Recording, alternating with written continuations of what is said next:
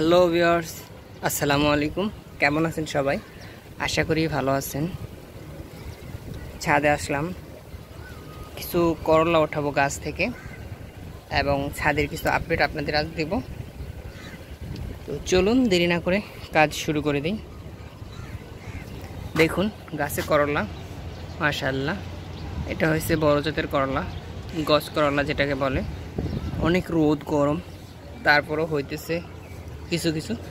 এরকম গরম বা রোদ না থাকলে এই করলাগুলো কিন্তু অনেক বড় হইতো আরও এবং অনেকটা লম্বা হইতো, মোটা হইতো। শুধু এটা না, দেখুন কি পরিমাণ করলা। এই যে এই যে, এই সাইডটাতে যদি দেখাই, এই যে এই যে এখানে, ওই যে ভিতরে, এই পাশে অভাব নেই। এখানে আমি পলিথিন দিয়ে দুটাকে বেঁধে দিয়েছিলাম। দেখুন, বোঝা যাইতেছে কিনা জানি না। অনেক বড় হয়েছে এইখানেও হয়েছে।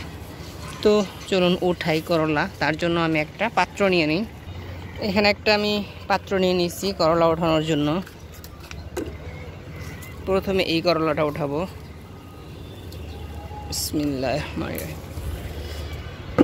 এই যে একটা করলা আমি উঠাইলাম।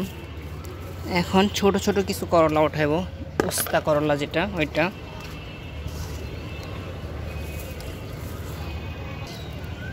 দেখুন, দেখা যাইতেছে কিনা জানি না, ভিতরে দেখুন কতগুলো একসাথে হয়ে রয়েছে আমি এখান থেকে বের করি।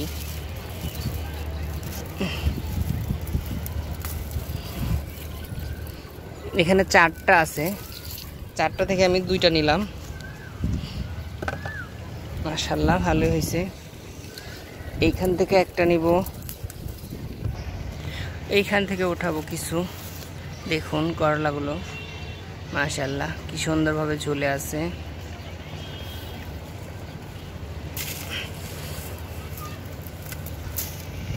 এই সাইড থেকে আমি এই করলাগুলো উঠাইছি, দেখুন।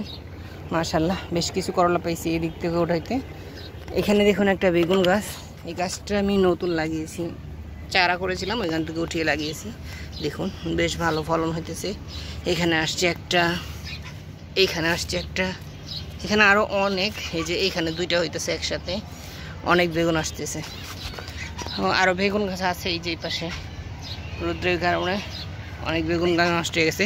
আমি উঠে এইভাবে আলাদা আলাদা করে সেপারেট করে লাগানোর চেষ্টা করতেছি, তাহলে যদি একটু ভালো হয়। তো আরও কিছু করলা উঠাবো ওই সাইড থেকে।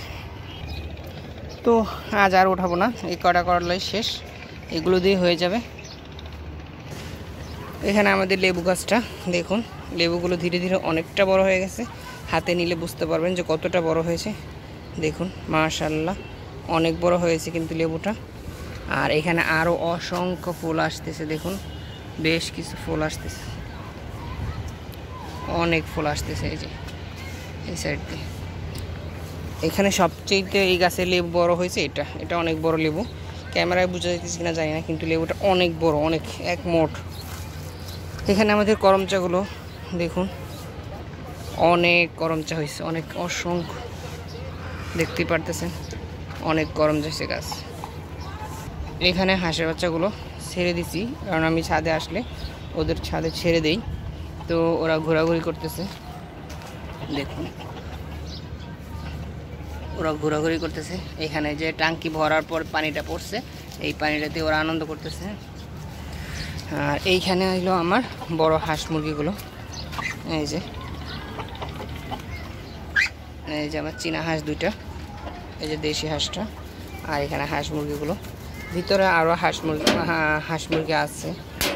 এই যে আমার এখানে আছে বাচ্চাগুলো। দেখাই আপনাদের। এই যে। এইখানে আছে বাচ্চাগুলো। বাচ্চাগুলো এখন অনেকটাই বড় হয়ে গেছে। এখানে প্রচুর পরিমাণে বেলি ফুল ফুটতেছে।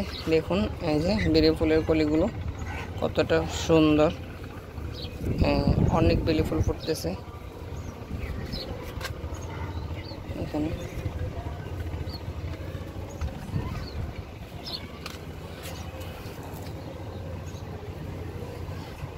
তো ভিডিওটি আজ এ পর্যন্তই। ছোটোখাটো কিছু বিষয় দেখানোর চেষ্টা করলাম। আর ছাদে থেকে আমি কিছু করলা উঠালাম এবং আমার হাঁস মুরগিগুলো আপনাদের দেখালাম। ভিডিওটি যদি ভালো লাগে, একটি লাইক ও একটি শেয়ার করে দেবেন এবং যারা চ্যানেলে নতুন, অবশ্যই চ্যানেলটি সাবস্ক্রাইব করে দেবেন। সবাই ভালো থাকুন, সুস্থ থাকুন, আল্লাহ হাফেজ।